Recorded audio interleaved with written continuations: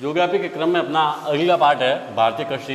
इससे पहले अपन ने पढ़ा भारत की जो जल संसाधन के बारे में, अगला है भारतीय कृषि। दो नंबर का पार्ट है और लगभग छोटा क्वेश्चन आता है इसमें से, दो तीन नंबर के क्वेश्चन आते हैं। तो इसमें मुख्य रूप से अपन इस पार्ट की जो मुख्य मुख्य बातें हैं, वो सारी मौखिक रूप से जान लेते हैं। पहला है, इसका पार्ट का परिचय दे रखा है कि मनुष्य की जो मूलभूत आवश्यकता है, रोटी, कपड़ा और मकान। तो रोटी मतलब खाद्यान्न, यानी कृषि। यानी कृषि है जो महत्वपूर्ण मनुष्य के जीवन के लिए, बहुत ही, जीवन जीने के लिए सबसे महत्वपूर्ण अपने माना जा सकता है। तो अपने यहाँ पर भारत को भारतीय कृषि को मानसून का जुआ भी कहा जाता है, यानी मानसून पर आधारित होती है। तो जब अच्छी बरसात होती है तो फ़सलें अच्छी होती है अपने सिंचाई वगैरह के लिए पानी उपलब्ध हो जाता है तो अच्छी मात्रा में फ़सल प्राप्त की जाती है। बात करें भारत की जनसंख्या की तो लगभग जो 48 परसेंट अड़तालीस परसेंट जनसंख्या है, जो लगभग क्या कार्य करती है, कृषि से संबंधित कार्य करती है। और वो अपनी जो जीडीपी के लग, अंदर उसका लगभग योगदान होता है, जो लगभग अलग अलग वर्षों में अलग अलग होता है, लेकिन ये दो हज़ार ग्यारह बारह का है, बारह तेरह का है, जिसमें लगभग तेरह पॉइंट सात परसेंट है जो इसका योगदान रहा अपने जीडीपी में। तो इस प्रकार से है, इसका बहुत महत्वपूर्ण योगदान रहता है कृषि का। और जो विभिन्न प्रकार के अन्य जो विनिर्माण उद्योग वगैरह है उनमें भी कृषि उत्पादों का बहुत महत्वपूर्ण योगदान रहता है, जो आगे के पार्टों में अपन पढ़ेंगे। तो ये हो जाएगा, कृषि का अपना महत्व है कि मनुष्य के द्वारा विभिन्न तरीकों से अनाज का उत्पादन किया है, वो हो जाएगी अपने कृषि। अब इसमें कृषि को दो भागों में बांटा गया है। एक तो ऋतु आधारित जो फ़सलें हैं, बोई जाती है, और एक केवल फ़सल की जो क्या क्या बोने के आधार पर दो भागों में बांटा है। ऋतु के आधार पर है, जो तीन प्रकार है, जिसमें पहला है खरीफ, रबी और जायद। अलग अलग समय में बोई जाती है। फिर अपने फ़सलों के आधार पर है, जो खाद्यान्न फ़सलें, जो खाने के काम में आती है, व्यावसायिक फ़सलें, जो व्यवसाय के रूप में आमदनी के स्रोत है बागानी फ़सलें और उद्यान फ़सलें। मुख्य रूप से तुम्हारा पार्ट है, जो इन दोनों परिभाषाओं पर टिका हुआ है और इन्हीं के इर्द गिर्द पूरा पार्ट घूमता है। अब इनको फिर अलग से बांट देंगे कि कौन कौन सी फ़सलें हैं, उनके बारे में विस्तार से पढ़ेंगे। तो सबसे पहले है ऋतु आधारित फ़सलें, यानी अलग अलग मौसम के आधार पर, जैसे सर्दी में, गर्मी में और वर्षा ऋतु में बोई जाने वाली फ़सलें हैं, वो ऋतु आधारित फ़सलें हो जाएगी। इसमें पहली है, खरीफ खरीफ की फ़सल जो मुख्य रूप से मानसून पर आधारित फ़सल है, जो मानसून का महीना अभी वर्तमान में जैसे चल रहा है, जून महीना तो जून, जुलाई में तो बोई जाती है और अक्टूबर, नवंबर में इसको काटा जाता है। इसमें मुख्य रूप से अपने मक्का है, जो अपने बाजरा है, जो तत्काल अपने वर्तमान में जैसे बोई जाएगी, मूंग वगैरह, मोट, जो ग्वार वगैरह, वो मुख्य फ़सलें हो जाएगी। फिर आती है इसकी रबी की फ़सल, रबी की फ़सल है जो सर्दी ऋतु में बोई जाती है और जिसमें मुख्य रूप से गेहूँ है, जौ है, चावल वगैरह है, वो हो जाएगी और फिर आती है अपने जायद फ़सलें। इसके बाद में ये अक्टूबर, नवंबर में काटी जाएगी और उसी स्थान पर अक्टूबर, नवंबर के अंदर इनकी बुआई शुरू हो जाएगी अपने रबी की फ़सलों की और उनको अपने अप्रैल, मई में काट दिया जाएगा। फिर अपने इनकी बुआई होगी जायद फ़सलों की। तो इसके प्रकार क्रमिक रूप से एक वर्ष में तीन फ़सलें ली जा सकती है अपने भारत की ज़मीन पर ली जाती है। जायद फ़सलों में तरबूज, खरबूज, ककड़ी वगैरह, ये सारी फ़सलें इसमें आती है। फिर अपने बात करें, अपने फ़सलों में, फ़सलों आधारित तो इसमें खाद्यान्न फ़सल, ऐसी फ़सलें जो मनुष्य के खाद्यान्न के रूप में उपयोग में ली जाती है, जैसे गेहूँ, चना अपने, नहीं, चना तो दलहन फ़सल में हो जाएगी, लेकिन इसको भी खाद्यान्न फ़सलों को भी अलग अलग भागों बांटा है। दलहन है, तिलहन है वगैरह, वो अभी विस्तर से पढ़ेंगे। तो पहले खाद्यान्न फ़सल खाद्यान्न फ़सल में चावल हो जाएगा, बाजरा हो जाएगी अपने मक्का हो जाएगा चावल चावल, जवार वगैरह हो जाएगी। फिर व्यावसायिक फ़सलें, ऐसी फ़सलें जिनको अपन क्या करेगा, मनुष्य अपने घर पे उपयोग न कर कर उसको सीधा पूरा बाज़ार में क्या कर देगा, बेच देगा, जिससे उनको आमदनी होगी। जैसे बात करें अपने गन्ने की गन्ने की फ़सल को चीनी मिलों में बेच दिया जाएगा। बात करें अपने तंबाकू की तंबाकू की फ़सल को बेच दिया जाएगा। बात करें अपने जो अन्य इसमें व्यावसायिक फ़सलों में कपास की तो कपास को सीधा मार्केट में बेच दिया जाएगा। जो अपने मिलों वाले उसको ले लेंगे। तो व्यावसायिक फ़सलें हो जाएगी। फिर बागानी फ़सलें वे फ़सलें हैं जो बागों के रूप में बोई जाती है। जैसे बात करें, रबड़ की है, चाय की है, कॉफ़ी की वगैरह है तो वो फ़सलें हो जाएगी बागानी फ़सलें। फिर उद्यान की फ़सलें, जिसमें विभिन्न प्रकार के फल आते हैं, जैसे मौसमी चीकू वगैरह जितने भी प्रकार के फल आते हैं, वो सारे उद्यान में आ जाएँगे और अन्य फल सब्ज़ियाँ हैं, वो इस प्रकार से इनका उपयोग हुआ तो अपन किताब के माध्यम से भी लेते हैं और एक एक टॉपिक को अपना विस्तृत रूप से पढ़ते हैं। तो इसमें पहला है, परिचय दे दिया, मैंने बता दिया, लगभग अपनी अड़तालीस पॉइंट नौ परसेंट जनसंख्या है, जो किसके ऊपर कार्यरत है, कृषि के ऊपर कार्यरत है, सौ, मान लो सौ मान जनसंख्या माने तो उसमें से अड़तालीस लोग ये काम करते हैं कृषि का। इसके अलावा जीडीपी में इसका योगदान बता दिया, और कृषि का अपने आप में महत्व है, सदियों से है, सारी जो सभ्यता हुई है, उनमें भी विभिन्न प्रकार के जो व्यवसाय है, उसमें कृषि का रोल महत्वपूर्ण माना जाता है। व्यापार भी कृषि से जुड़ा हुआ है। अनेक सारे जो व्यापार के माध्यम है, वो कृषि से होते हैं। फिर अपने ऋतु के आधार पर तीन भागों में बांटा है। पहला है खरीफ की फ़सल, जो बता रही है, अक्टूबर जून, जुलाई में बोई जाती है और अक्टूबर, नवंबर में काटी जाती है, जिसमें चावल, मक्का, बाजरा, मूंग, उड़द, गन्ना वगैरह इसमें मुख्य रूप से। फिर रबी की फ़सल, जो, इसको याद रखना करने का सामान्य तरीका, ख, ग। ख से खरीफ की और ग से गर्मी में बोई जाती है। र स, यानी र से रबी की और स से सर्दी में बोई जाने वाली फ़सल। तो मुख्य ये ख, ग और रस याद रखना। ख, ग यानी खरीफ की फ़सल किसमें बोई जाएगी? गर्मी में। और र, स यानी रबी की फ़सल किसमें बोई जाएगी? सर्दी में। तो अपने इस ये वाले महीने लिखेंगे सर्दी और गर्मी के तो अपने लगभग थोड़ा याद रखने में सहूलियत हो जाएगी। तो ये हो जाएगी फिर अपने रबी की फ़सल, जो अपने अक्टूबर नवंबर में बोई जाती है और मार्च, अप्रैल में काट दी जाती है और इसमें गेहूँ, चना वगैरह जो मुख्य रूप से, और इसको पानी दिया जाना अनिवार्य होता है। ये मतलब अगर पानी होगा तभी इसकी खेती अपन कर सकते हैं। तो ये हो जाएगी मुख्य रूप से। इसके बाद में जायज़ की फ़सलों की बात करें तो जायज़ फ़सलों में अपने मुख्य रूप से जो सब्ज़ियाँ और अपने विभिन्न प्रकार के तरबूज, खरबूज लौकी ककड़ियाँ वगैरह सम्मिलित है। फिर भारतीय कृषि के अंदर फ़सलों का अपने मुख्य रूप से बात करें तो खाद्यान्न फ़सलें खाद्यान्न फ़सल का मैंने बता दिया खाने के रूप में जिनको फ़सलों का उपयोग किया जाता है जैसे चावल गेहूँ मक्का ज्वार बाजरा वगैरह व्यावसायिक फ़सलें व्यावसायिक फ़सलों में जो मुख्य रूप से है मुद्रा दैनी फ़सलें जिसमें अपने मुख्य रूप से गन्ना कपास जूट तंबाकू आदि हो जाएगा और इनके अलावा तेलन और दलहन फ़सलें सारी हो जाएगी। फिर इसके बाद में बात करें बागानी फ़सलों की तो बागानी फ़सलों में जो बागों के रूप में बोई जाती है जैसा मैंने बता दिया रबड़ वगैरह की फ़सल है जो ये मुख्य रूप से हो जाएगी। इसके अलावा कॉफ़ी वगैरह है, चाय की फ़सल है वो हो जाएगी। फिर उद्यान फ़सलें, जिसमें फल और सब्ज़ियाँ सारी आ जाएगी। अब बात करें पर्टिकुलर एक एक अपने फ़सल की तो पहले आती है खाद्यान्न फ़सलें। कौन सी फ़सलें आ जाएगी? खाद्यान्न फ़सलें, जिसमें गेहूँ वगैरह। तो अब आपको कोई भी फ़सल का पूछे तो मुख्य रूप से प्रत्येक फ़सल में आपको किन बातों का ध्यान रखना है? जैसे मान लो कोई भी फ़सल पूछ ली, चाहे खाद्यान्न है, या अपने व्यावसायिक फ़सल है बागानी फ़सल है, कोई भी फ़सल पूछ ले तो उसके अंदर मुख्य रूप से पहली बात तो क्या ध्यान रखनी है अपने? एक तो क्षेत्र कौन सा है? यानी किस किस क्षेत्र में बोई जाती है कौन कौन से राज्य है? फिर इसके बाद में दूसरा कौन सा है? इसका तापमान कितना है? कौन से तापमान में ये अपने फ़सल हो सकती है? तो वो तापमान लिखना है। उसके बाद में अपने तो आपको उस स्थित क्षेत्र का लगभग का तापमान अपन लिख सकते हैं। तो हो जाएगा, उसके बाद में अपने वर्षा वर्षा कितने सेंटीग्रेड चाहिए तो वर्षा का अपने, उसका देना है। फिर इसमें क्षेत्र में राज्य में कौन सा प्रथम स्थान वगैरह है तो वो सारा इसमें मुख्य रूप से, मुख्य मुख्य बातें ये लिख सकते हैं। फिर अपने कहाँ पर उत्पादन होता है, उससे विशेष रिलेटेड है, जैसे अपने हरित क्रांति से उसका कोई प्रभाव है या किसी से जुड़ा हुआ है तो वो मुख्य बातें लिख सकते हैं। तो ये हो जाएगा, कोई भी फ़सल के बारे में अपन पूरी सामान्य जानकारी ये होती है। तो अपन बात करें, सबसे पहले बात करें सामान्य जानकारी की तो पहले आपकी इसमें गेहूँ की, कौन सी फ़सल है? गेहूँ। अब गेहूँ का ज़्यादातर उत्पादन होता है, अपने भारत की बात करें तो उत्तरी जो अपने क्षेत्र है, जो गंगा, यमुना और ये नदियों वाला क्षेत्र है, मैदानी क्षेत्र है, इस क्षेत्र में इसका उत्पादन क्या होता है? सबसे ज़्यादा होता है। तो मुख्य रूप से इसमें सबसे पहले समशीतोष्ण क्षेत्र के अंदर इसका उत्पादन ज़्यादा होता है और इसमें लगभग 10 से लेकर 25 सेंटीग्रेड तक तापमान कितना चाहिए?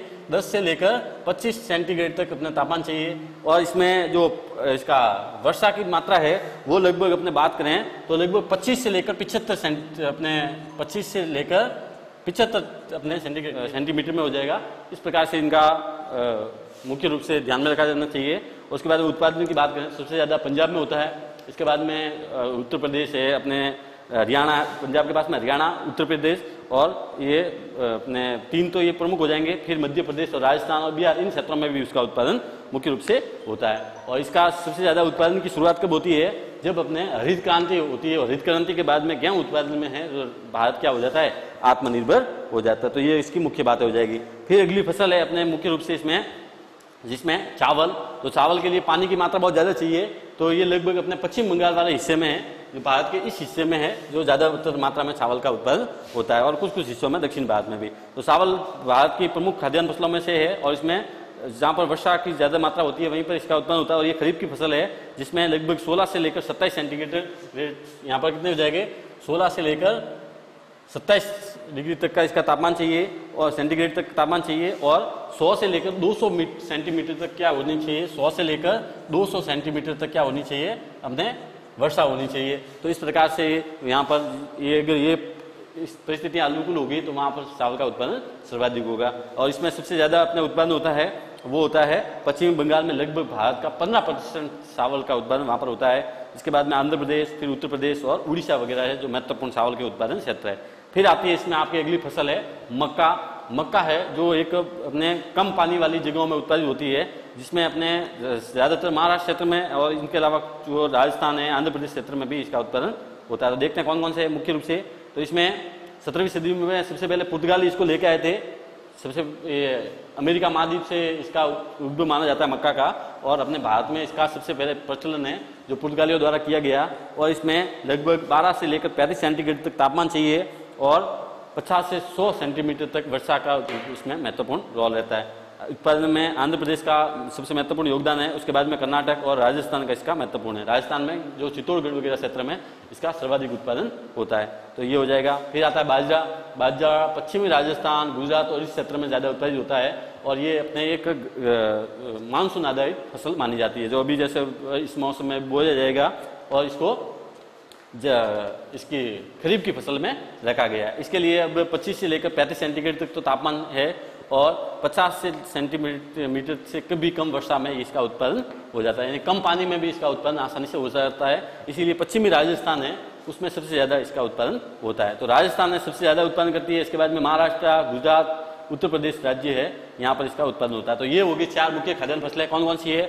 सबसे पहले गेहूँ, फिर चावल, मक्का और बाजरा। ये चार फ़सलें हैं तुम्हारे खाद्यान्न के रूप में इसमें दे रखा है। इसके बाद में आती है अपने दहलन फ़सलें। दहलन फसलन नाम से पता चलता है, दल सकते हैं जिनको। दहलन मतलब दाल वाली फ़सलें जिनमें मुख्य रूप से बात करें तो मूंग मोट जवार, ये नहीं, मूंग मोट चना वगैरह है जो मुख्य रूप से दलहन फ़सलें हैं। इनका अलग अलग क्षेत्रों में उत्पादन होता है और ये खरीफ और रबी और जायद के रूप में अपने उत्पादित होती है। तो ये मुख्य हो जाएगी।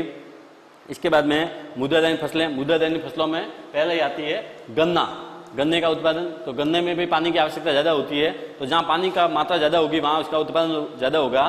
तो सबसे पहले बात करें तो ये बाँस मूल का एक पौधा है इसके अंदर भारत में लगभग 50 प्रतिशत गन्ने का उत्पादन भारत में होता है विश्व के 50 प्रतिशत गन्ने का उत्पादन में और लगभग 15 से लेकर 30 सेंटीग्रेड तो, तो इसके लिए तापमान चाहिए और 100 से 200 सेंटीग्रेड। लगभग जो सारी गंद अपने चावल उत्पादन में जो आवश्यक वस्तुएँ होती है वो इसमें भी होनी चाहिए। तो ये मुख्य रूप से है। इसके बाद में उत्पादन राज्यों की बात करें तो उत्तर प्रदेश, महाराष्ट्र, कर्नाटक, तमिलनाडु, आंध्र प्रदेश, हरियाणा, पंजाब, बिहार और यहाँ पर इसका ज़्यादा उत्पादन होता है और मुख्य रूप से गन्ने का उपयोग है। चीनी बनाने में इसका उपयोग किया जाता है। इसके बाद में आता है अपने राजस्थान में उत्पादन में, बुंदी में वगैरह इसका उत्पादन बहुत अच्छी मात्रा में होता है। गंगानगर में भी इसका उत्पादन होता है। फिर आता है कपास। कपास का मुख्य रूप से कपड़ों के निर्माण में और सूती वस्त्र निर्माण में उपयोग में लिया जाता है। तो इसमें भी कपास को अलग अलग भागों में बांटा गया है, जिसमें एक तो होता है लंबे और महीन रेशे वाले, फिर होता है अपने मध्यम रेशे वाले कपास, और अंत में होता है अपने छोटे रेशे वाले कपासों के रूप में इसको बांटा गया है। तो ये हो जाएगा। इसके बाद में, इसका उत्पादन में इसके लिए सबसे अनुकूल दशा होती है, काली मिट्टी की आवश्यकता होती है, और लगभग अपने 20 से 35 सेंटीग्रेड तक तापमान चाहिए, और पिछहत्तर से लेकर 100 सेंटीग्रेड तक इसके अंदर अपने पानी की, सेंटीमीटर तक इसके पानी की आवश्यकता होती है। सबसे ज़्यादा उत्पादन होता है अपने गुजरात में, काल इसका ज़्यादा है प्रचलन, इसकी खेती का, और महाराष्ट्र वगैरह में भी इसका उत्पादन अच्छा होता है। तो पहला स्थान है गुजरात का, दूसरा स्थान है महाराष्ट्र का, और तीसरे स्थान पर आता है अपने आंध्र प्रदेश। धीरे धीरे भारत भी सूती वस्त्र के निर्माण में आत्मनिर्भर हुआ और सदियों से भारत के पक्ष में रहा सूती वस्त्र के निर्माण का उत्पादन करने का जो कारोबार। तो ये हो जाएगा। फिर एक मुद्रादानी फ़सल है, गन्ना, अपने कपास, और अगला आता है जूट, जिसे पटसन भी कहा जाता है। बंगाल में इसका उत्पादन होता है ज़्यादातर, और अंग्रेज़ों के समय में भी इसका बहुत ज़्यादा महत्व था। उस समय में भी जूट की बोरियाँ वगैरह बनती थी तो पैकिंग में वगैरह इनका बहुत महत्वपूर्ण नुकसान रहता है। कोई भी फ़सल उत्पादन हो, लेकिन उसको पैकिंग में बोरियों के रूप में इसी का इस्तेमाल किया जाता है। जूट भी एक मुद्रा दैनिक फ़सल के रूप में मानी जाती है। तो ये हो जाएगा। इसमें सबसे ज़्यादा पश्चिम बंगाल में अपना उत्पादन होता है जूट। उसके बाद में आती है, अगली फ़सलें आती है तिलहन। पहले दलहन में मैंने बताया, दालें आती है तिलहन में जिनसे तेल निकलता है, वो सारी फ़सलें तो परीक्षा में सामान्य सा क्वेश्चन आएगा कि तिलन फ़सलें कौन कौन सी होती है? तो ऐसी फ़सलें जिनसे अपन को विभिन्न प्रकार के तेलों की आपूर्ति होती है। जैसे सोयाबीन की बात करें, अपने विभिन्न प्रकार के जो अरंडी की बात करें अलसी की बात करें, वो सारी जो जिनसे तिल की प्राप्ति होती है, वो सारी किस्में आ जाएगी? अपने सूरजमुखी है तिल वगैरह, वो सारे किस्में आ जाएँगे? तिलहन फ़सलों में तो मुख्य रूप से कौन कौन से है? मूंगफली है, सरसों, तिल, सूरजमुखी, अलसी अरंडी और सोयाबीन मुख्य रूप से है। और भारत लगभग विश्व का 10 परसेंट जो तेल का उत्पादन करता है तो ये अपने आप में इसका बहुत ज़्यादा महत्व है। अब इसमें बताया गया कि मूंगफली का उत्पादन कहाँ पर ज़्यादातर होता है। तो मूंगफली का उत्पादन अपने गुजरात में सबसे ज़्यादा पैदावार होती है। आंध्र प्रदेश में भी द्वितीय स्थान पर, तमिलनाडु तीसरे स्थान पर है, बहुत महत्वपूर्ण है। इसके बाद में ये ब्राज़ील मूल की फ़सल है, मूंगफली। उसके बाद आता है सरसों तेल, जो खाद्य फजान जो खाद्य तेलन में सबसे ज़्यादा तेल का उपयोग किया जाता है, लगभग सितर प्रतिशत सरसों भारतीय द्वारा उत्पादित की जाती है सरसों का तेल भारतीय द्वारा उत्पादित किया जाता है विश्व के अंदर। तो ये अपने आप में गर्व का विषय है। इसमें भी राजस्थान के अंदर सबसे ज़्यादा उत्पन्न होता है और शेवर भरतपुर में सरसों शोध संस्थान स्थापित किया हुआ है। तो ये अपने आप में अपने गर्व की बात है। दूसरे स्थान पर आता है अपने उत्तर प्रदेश और तीसरे स्थान पर आता है अपने मध्य प्रदेश। तो ये हो जाएगा सरसों। अन्य तिलहन फ़सलों में अरंडी वगैरह है, जिनका तेल है लुब्रिकेंट के रूप में, स्नैक के रूप में उपयोग में लिया जाता है। तो ये हो जाएगी अन्य अपने तिलहन फ़सलें। फिर अपने इसका योगदान क्या है? भारतीय कृषि में। तो किस प्रकार से ये कृषि में योगदान देता है? तो मैंने बताया कि विभिन्न प्रकार के जो विनिर्माण के उद्योग आगे के क्लासों में पढ़ेंगे, जैसे सूती वस्त्र उद्योग। तो सूती वस्त्र उद्योग पूरा का पूरा किसके ऊपर टिका हुआ है? अपने इन्हीं के अपने फ़सलों पर, कपास के ऊपर टिका हुआ है। चीनी मिलों का जो अपने बात करें, विनिर्माण उद्योग तो वो सारे किसके ऊपर, गन्ने की खेती पर टिकी हुई है। तो मुख्य रूप से इनका पहला है रोज़गार के क्षेत्र में। तो लगभग अपने भारतीय जनसंख्या का 48.9 प्रतिशत लोगों को क्या देता है? रोज़गार देता है। कौन सा सेक्टर? कृषि सेक्टर। इसके अलावा जीडीपी में बात करें तो जीडीपी में भी इसका 10-12 परसेंट अलग अलग परसेंट योगदान रहता है और धीरे धीरे इसका संख्या में बढ़ोतरी हो रही है। लगभग 2011-12 की कीमतों की बात करें तो लगभग 15 प्रतिशत योगदान रहा है इसका भारत की जीडीपी में। और पंद्रह सोलह में लगभग सत्रह पॉइंट आठ परसेंट का योगदान रहा है। तो धीरे धीरे है जीडीपी में भी क्या हो रहा है, इसका योगदान बढ़ रहा है। तो ये भी अपने आप में इसका महत्व है, कृषि का योगदान है। इसके बाद में विदेशी व्यापार में भी इसका योगदान है, क्योंकि बहुत ज़्यादा मात्रा में भारत से विदेशों में सप्लाई किया जाता है। विभिन्न प्रकार के कृषि के उत्पाद, जिसमें बात करें चाय चाय के उत्पादन में भारत का विश्व में प्रथम स्थान है। उत्पादन और उपभोग दोनों में प्रथम स्थान है। इसके अलावा बात करें चीनी तिलन तंबाकू, मसाले आदि का निर्यात किया जाता है और चावल का भी भारत में खूब ज़्यादा मात्रा में निर्यात किया जाता है। तो ये अपने आप में बहुत महत्वपूर्ण है। इसके अलावा कृषि के साथ साथ में विभिन्न प्रकार के पशुपालन वगैरह भी होते हैं, मुर्गी पालन, मत्स्य पालन भी इन्हीं को कृषि के रूप में, सहायक उद्योगों के रूप में जाना जाता है। तो इसका भी बहुत ज़्यादा मात्रा में योगदान है। उसके बाद में उद्योगों के कच्चे माल के रूप में, जैसा कि मैंने बताया है कि विभिन्न प्रकार के विनिर्माण के उद्योगों में कृषि को कच्चे उत्पाद के रूप में बहुत महत्वपूर्ण योगदान रहता है। औद्योगिक उत्पादों में बाजारों के अंदर भी इनका बहुत ज़्यादा कृषि का महत्व बढ़ जाता है। अपने मनुष्य के खाद्यान्न में विभिन्न प्रकार के जो फल वगैरह का भी इससे महत्व बढ़ता है और लोगों को रोज़गार प्राप्त करने में इसकी महत्व भूमिका रहती है। तो इस प्रकार से अपने ये पाठ होता है। पूरा तुम्हारे जो मुख्य मुख्य प्रश्न है, जो इन्हीं के ऊपर अपने आधारित है। धन्यवाद।